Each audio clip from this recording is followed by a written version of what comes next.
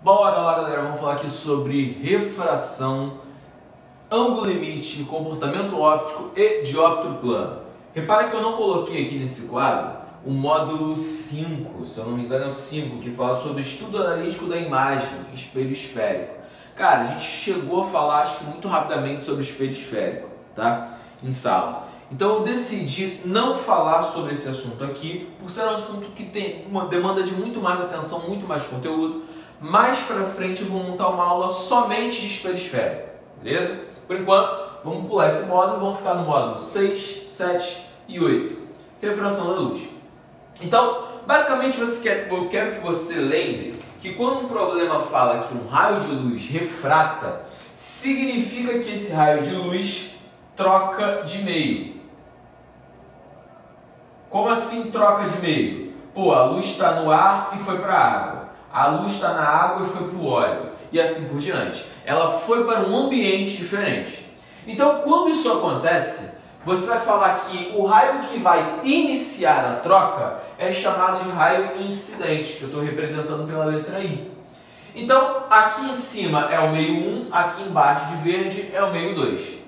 Mas quando o raio de luz tenta trocar de meio, ele bate aqui no que nós chamamos de superfície de separação, simplesmente o que separa os dois meios, ele tem duas possibilidades.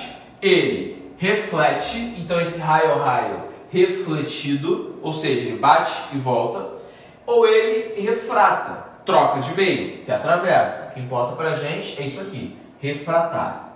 Legal? Mas quando esse raio chega, ao bater nesse ponto, nós vamos dizer que esse ponto é a nossa referência.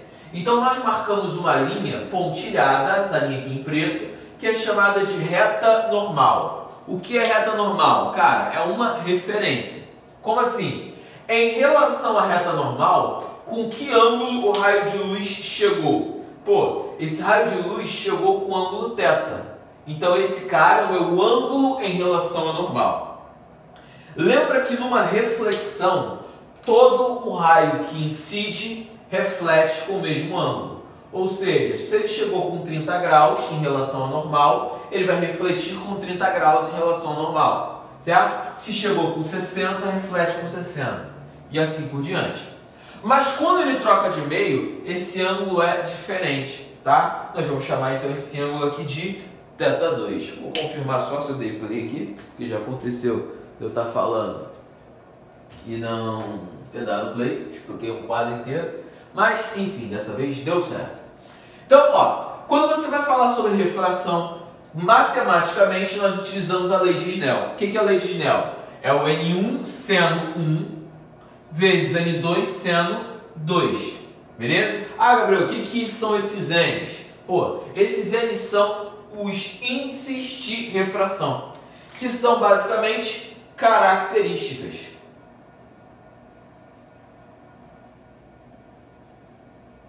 Pô, como assim características?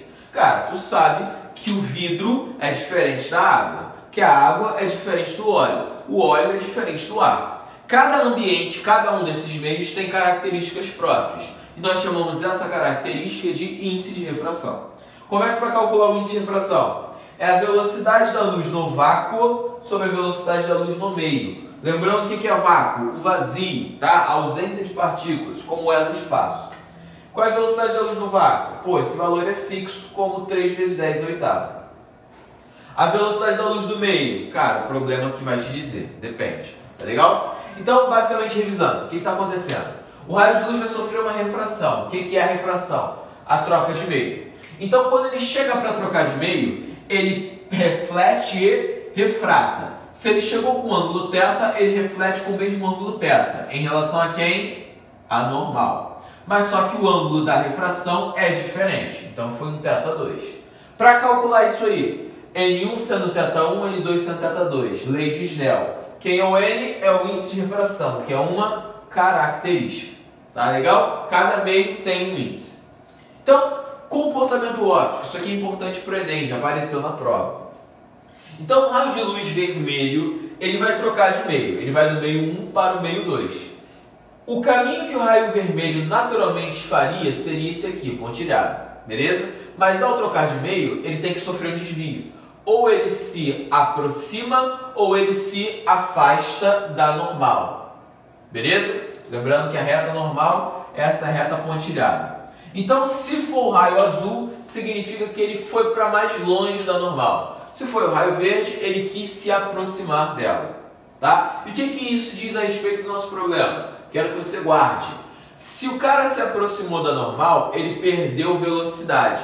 Significa que ele estava no meio fácil e foi para um meio mais difícil. Certo? Então, se o meio é difícil, nós falamos que ele é mais refringente. O N2 é maior do que o N1.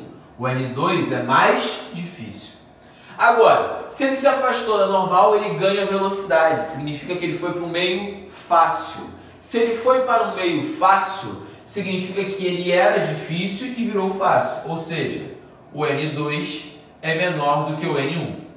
Guarda essa relação. Ganhou velocidade, foi para o meio fácil. Perdeu velocidade, foi para o meio difícil.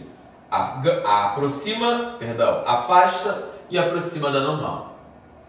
Continuando aqui, o ângulo limite. Que, que é isso? Limite. Limita o quê? A refração e a reflexão. Eu vou mandar um raio de luz sempre do meio difícil para o meio fácil, tá legal? Do meio maior para o meio menor. E esse raio de luz vai fazer o quê? Pô, ele vai refratar. Mas se ele é um meio menor, é mais fácil, a tendência dele é sempre fazer o quê? Se afastar da normal. Vai ter uma hora que o ângulo que eu vou usar vai ser tão grande que esse raio de luz não vai mais conseguir refratar. Ele vai ficar aqui, ó, na situação limite. Ou seja, se eu diminuo o ângulo, ele refrata. Se eu aumento o ângulo, ele reflete. Ele fica no limite entre a refração e a reflexão. É isso o ângulo limite. O máximo ângulo onde você consegue ter as duas situações. Ou melhor, a refração da luz. Então, o que você vai falar para o ângulo limite? Que o seno do ângulo limite é igual ao n menor sobre o N maior. Ah, é sempre o N menor sobre o N maior? Sempre. Tá legal? O ângulo limite é sempre assim. Guarda essa fórmula também. Beleza? Então, o que é o ângulo limite? Revisando tudo, calma. Ó, o que vai acontecer? Comportamento óptico. Se ele vai de um meio difícil para um meio fácil, ele ganha velocidade e se afasta da normal. Se ele vai de um meio fácil para um meio difícil, ele perde velocidade e se aproxima da normal. Beleza? Agora, se ele vai de um meio difícil para um meio fácil, a tendência dele é sempre se afastar. Vai ter um momento que ele vai afastar tanto, tanto, que ele não consegue mais refratar. Certo? Então ele fica naquela dúvida se ele reflete ou refrata. Perdão, refrata ou reflete. Então nós falamos que ele atinge o limite. Ângulo limite, sendo do ângulo limite, é o n menor sobre o n maior. Se o problema te deu um ângulo, um índice 3 e outro índice 2, então vai ser 2 dividido por 3.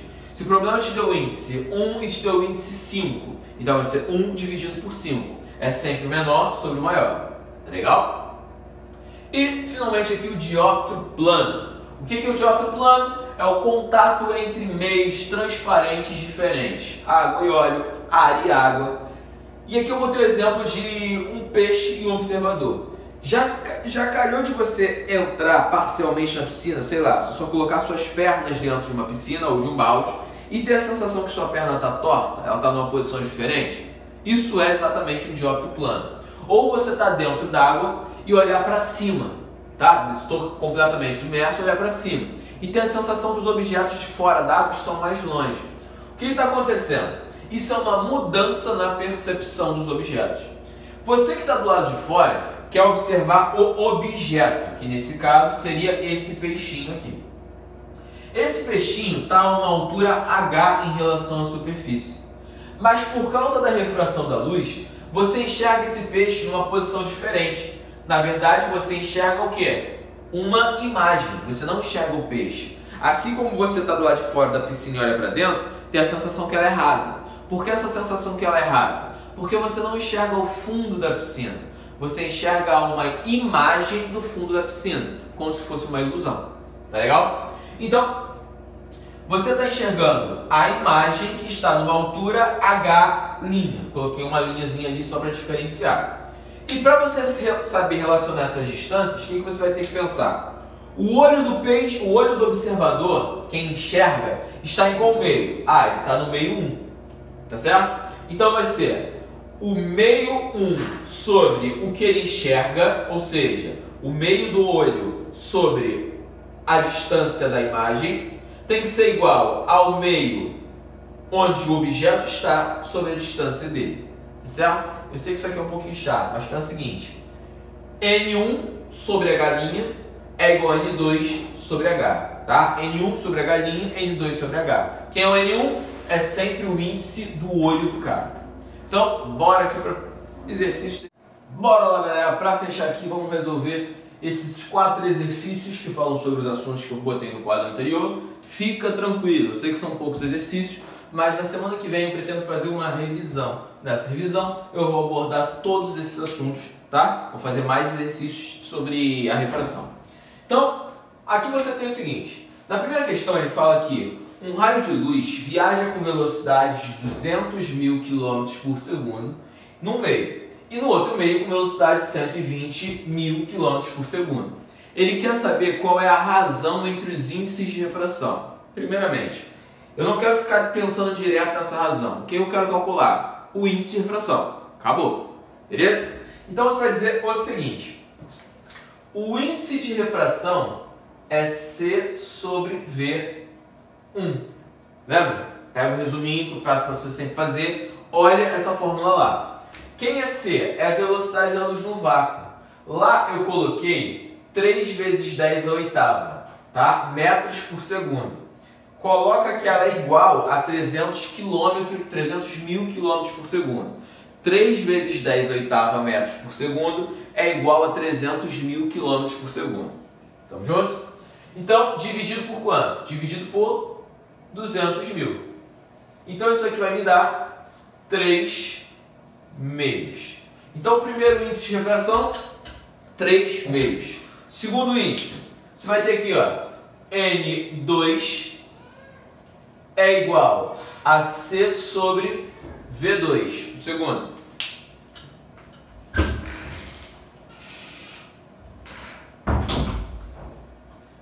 E aqui vai ser 300 mil dividido por 120 mil. Isso aqui é a mesma coisa que 30 dividido por 12, que é 10 por 4. Tá certo? Ou 5 por 2.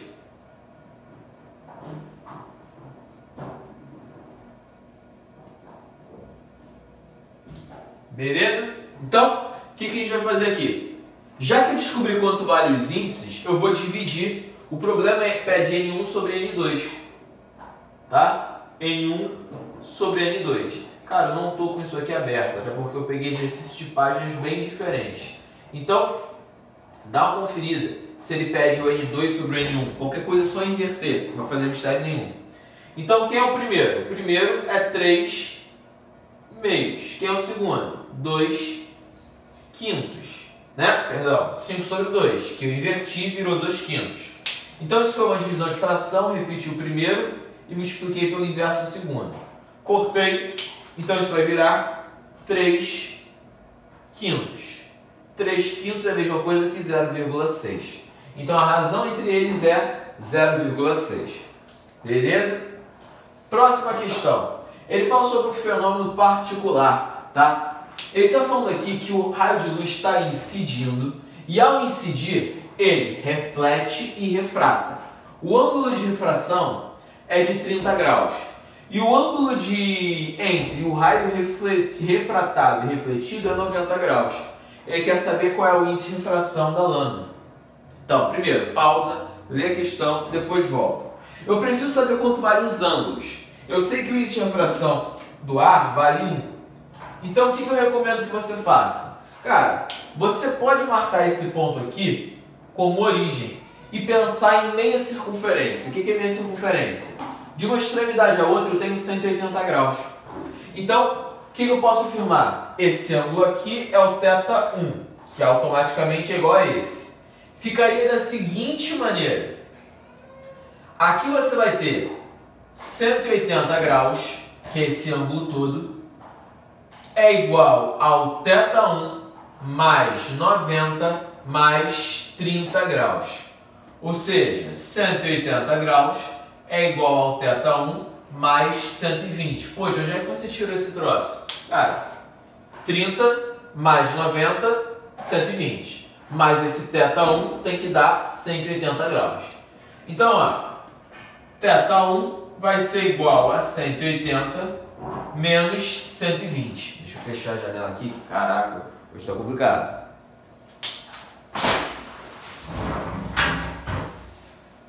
Continuando. Então isso aqui vai me dar quanto? 60 graus. Já sei que esse ângulo aqui é 60 graus. Cara, mas eu já falei para você que o ângulo de reflexão é igual ao ângulo de incidência. Ou seja, desse outro lado também é 60 graus. Tamo junto? Bora lá, qualquer coisa volta esse vídeo, se ainda persistir a dúvida, manda para mim. Então vai ficar aqui como? N1 seno θ1 é igual a N2 seno θ2. Quem é essa? É a lei de Snell.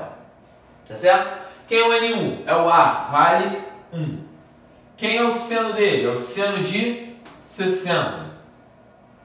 Quem é o N2? Não sei. É o da lâmina. Quem é o seno dele? É o seno de 30 graus. Então, seno de 60, olha lá na tabelinha, é raiz de 3 sobre 2. Seno de 30 é meio. Então dá para cortar o 2 dos dois lados. Sobra para gente que o N da lâmina é igual a raiz de 3. Tranquilo? Então, dá uma olhada aí. Conforme for, manda dúvida para mim. Não esquece. Próxima questão. Página 41, questão 3. Ele está falando que o raio de luz vai do ar para um prisma e do prisma ele é refletido, tá? Ah, mas olha só, quando o raio de luz foi do ar para o prisma, ele não é, desviou. Cara, isso é um caso particular. Quando o raio de luz incide perpendicularmente à superfície, ele não sofre desvio nenhum. Quando o raio de luz incide perpendicularmente à superfície, não sofre desvio. Anota isso, tá legal? Então o que vai acontecer? O raio de luz vai passar por essa face, vai atingir essa face aqui e vai ser refletido. O raio de luz não consegue refratar. Certo? Então significa que ele atingiu o ângulo limite, tá? Nesse caso, se eu pegar aqui como é um prisma e ele incidiu perpendicularmente as duas faces, eu posso falar que isso aqui vale 90 graus. Se vale 90 graus, eu vou dividir 45 e 45. Beleza? Então, qual é o ângulo que o raio está incidindo? 45 graus. Logo, o seno do ângulo limite é igual ao índice do ar sobre o índice do prisma. O seno do ângulo limite, que é o ângulo limite? Como eu falei, 45, é igual a 1 sobre o índice do prisma. Ah, como é que eu sei que tem que ser o ar sobre o prisma? Lembra sempre que o ar é o menor valor sempre. O índice de refração do ar é o menor valor que tem. Ou seja, ele sempre fica em cima. Então, índice refração, o 145 é o raiz de 2 sobre 2. Isso aqui é 1 sobre o n do prisma. Trocando de lado, você vai ter que o n do prisma é igual a 2 sobre raiz de 2. Concorda? Estava dividindo, subiu multiplicando. Estava multiplicando, desceu dividindo. Racionalizando isso aqui, 2 raiz de 2 sobre 2, que é o próprio raiz de 2. Beleza? Então, volta o vídeo, dúvida, manda para mim. E por último, na página 45, questão 3. Ele fala que uma professora de natação joga uma moeda na água tá? E ela pede para os alunos pegarem essa moeda. Um aluno fica observando a moeda, olhando para ela e estima: ah, essa moeda está numa profundidade de 1,5 metros. Cara, mas o garoto que está fora d'água vai ver a moeda à distância real dela? Não. O que o garoto enxerga é a sua imagem. E para ele, a imagem, o H' vale 1,5. Ele quer saber qual é a profundidade real. Então, formulinha de óptimo plano. O olho do garoto está onde? Está no ar. Então é N do ar. A moeda está onde? Água. N da água. Então vai ficar o olho do garoto, N do ar, enxerga a imagem, a galinha. Olho do garoto, imagem. É igual ao N da água sobre a distância real. Então vai ficar 1 sobre 1,5 porque a distância que o garoto enxerga é igual a 4 terços sobre a distância real. Vou multiplicar isso cruzado, beleza? Então, o H só multiplicando e 1,5 também. H vezes 1 é H. 1,5 vezes 4 terços vai cortar 1,5 e o 3, sobra 2. 4 dividido por 2 vai me dar 2 metros. Então, a piscina tem uma profundidade de 2 metros. Tranquilo? Então, galera, por hoje é isso. Tá legal? Qualquer dúvida, mais uma vez, manda pra mim. Tá certo? Eu vou te ajudar. Então, forte abraço pra você, um beijo no coração. Tchau, tchau.